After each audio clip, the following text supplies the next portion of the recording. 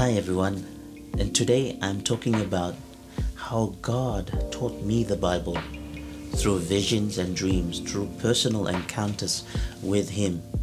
Is that a good thing or a bad thing? Find out why visions are so important and dreams are so important, and they play a part in you understanding the Bible.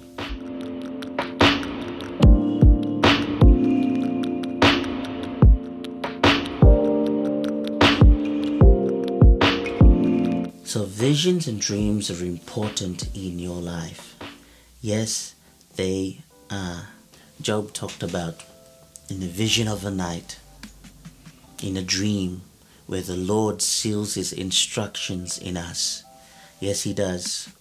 And you know, he gives them for warnings, he gives them for directions, he also gives them for insight, prophetic insight about things we need to know so we can tell the body of Christ or we can tell the world to the message that he's giving to us to whomsoever he's he's intended it for. And now and then the lord will come and give messages directly for you telling you about your destiny who you are in him and a lot lot more I've over the years written all my visions and dreams down, especially the ones I, that had an impact on my life, and I thought that was significant as well.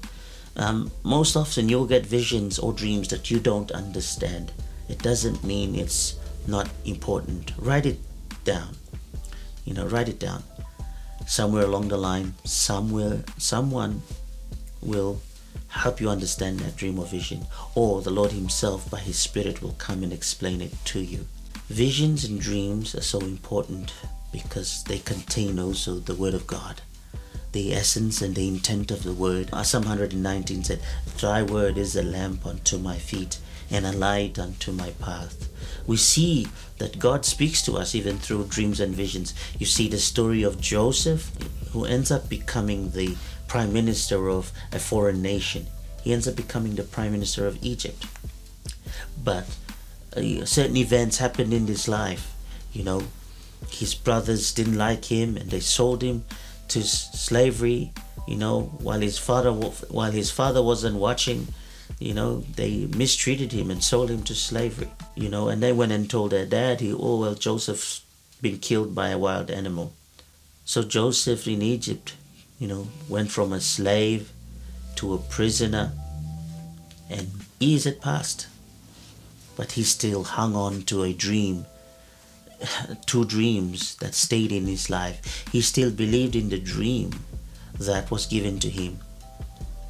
And uh, who knows what was happening in Joseph's heart and mind, but we know that he had absolute confidence in the God of his father.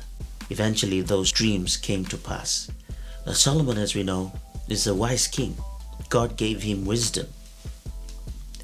And he also received that wis- that that that you know gift, that blessing of wisdom in a dream when the Lord visited him that night and said, Ask what you want and I will give it to you. You know, after he woke up from that dream, that wisdom rested upon his life. Jacob when he laid his head upon that rock.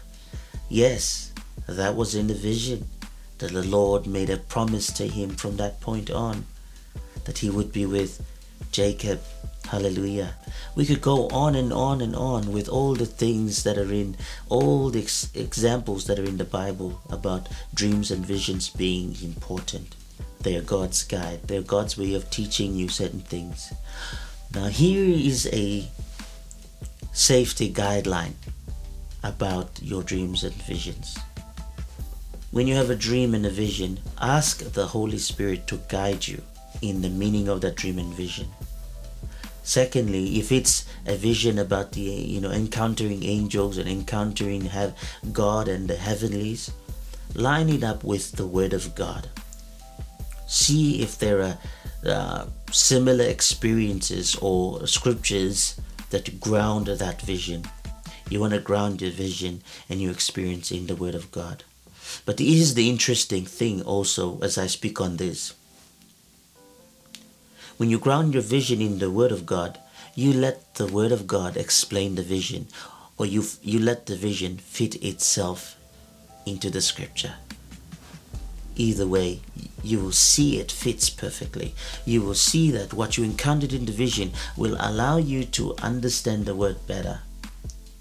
You know, I learned so many truths that I will be teaching, that I have already taught, and will be teaching in the coming videos that came up from visions, my end time studies being one of them. So that's about it for today. Grab a hold of that vision, put it to your heart. God spoke to the prophets in visions and dreams. And when Peter stood up on the day of Pentecost, he said, That's how the Lord's going to continue to do it through visions and dreams, through prophecies. Grab a hold of that spiritual message, the Holy Spirit message that is in your life right now. Line it up with the Word of God. Ground yourself in the purpose of God. Rise up and run with it.